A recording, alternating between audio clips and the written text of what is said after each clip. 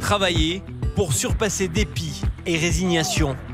Depuis un mois, trois hommes dirigent l'Estac. Mohamed Bradja, au club depuis 28 ans. Olivier Tingry, ancien gardien. Et Michel Padovani, le Corse, proche des joueurs.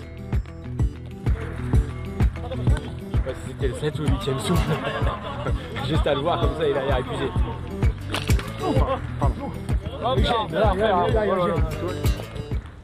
Un trio en réponse à cette saison ratée.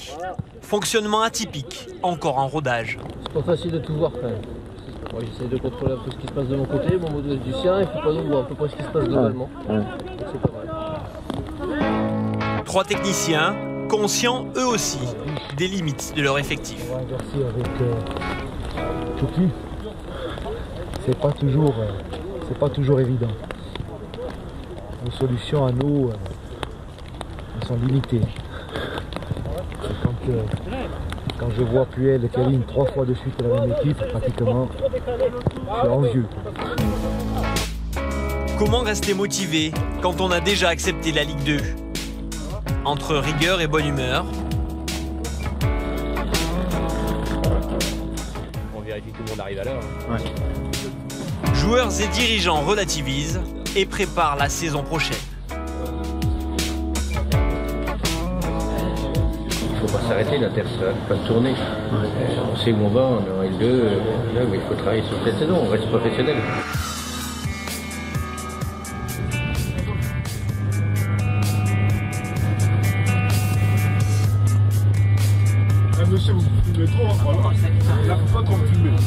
Avec seulement deux victoires, difficile de cacher sa crainte face aux Niçois.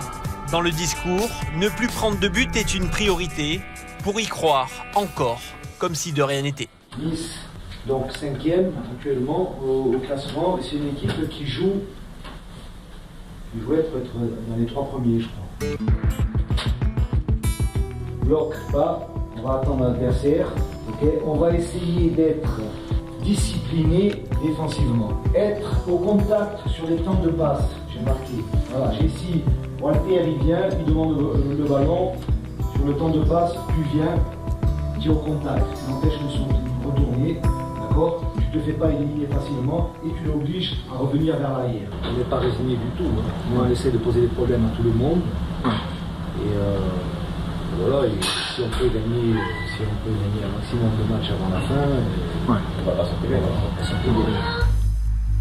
Dans l'avant-match, image peu habituelle, les trois coachs sont aussi sur le terrain. Ils assurent l'échauffement. Pas chasser sur 5 mètres sur les extérieurs. Tac, tac, tac, tac. Voilà les distances de passe aussi. Tranquille, un petite impulsion vers l'avant. Et là, plus vers l'avant. Le duo Pradja-Padovani prend les commandes et peaufine les détails. Euh, On va lui dire après, parce que sinon, les premiers ballons, c'est les qui se mettent. Ça fait long. Ça vient, ça vient Ouais, droitier, ouais. Ils sont épaulés par le capitaine Benjamin Nivet juste avant d'entrer au vestiaire. Bien joué, Rincon On peut tout pardonner. Bon esprit, les gars, bien, bien encore. En début de rencontre, le préposé aux médias, Mohamed Bradja, se plie aussi au protocole. Il est le premier à s'agacer. Les Troyens en blanc ne respectent pas les consignes, ils pressent trop haut et sont désordonnés. éliminé simplement par la course. On est en retard surtout. Faut pas sortir comme ça, putain. Ah non, mais on n'a pas à se faire dé- démonter comme ça. On donne le ballon pour se faire battre. Troublé lui aussi, Michel Padovani alerte ses joueurs. Mais après 13 minutes, Laisse, laisse, laisse. Germain confirme les inquiétudes troyennes.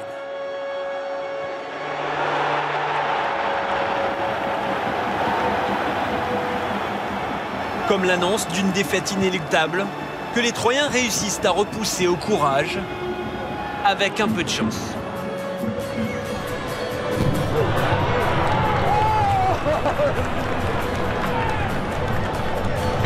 Bien joué, c'est mérité, les gars. Réaction insuffisante face à un adversaire supérieur, l'Estac rechute. « 2-1, Padovani et Bradja optent alors pour des changements offensifs. Ah ouais, ou un deuxième attaquant, je sais pas.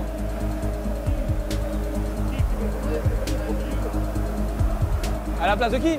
De Thiago? On reste comme ça Bah oui, non, mais effectivement, mais après on peut passer Coco devant et après Chouki sur le côté et Binge derrière. hein. On peut essayer de prendre des risques. Hein. Non? Prenez la responsabilité de passer en losange. Tu demandes à, à Coco qui vienne à côté du deuxième attaquant, Binge qui se met derrière et toi tu vas à côté là-bas. Regarde si ça peut être jouable.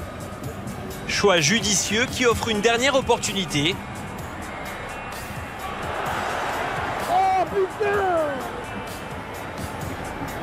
Insuffisant pour éviter une 19e défaite, mais ce soir encore, l'Estac a prouvé qu'elle jouerait le jeu jusqu'au bout.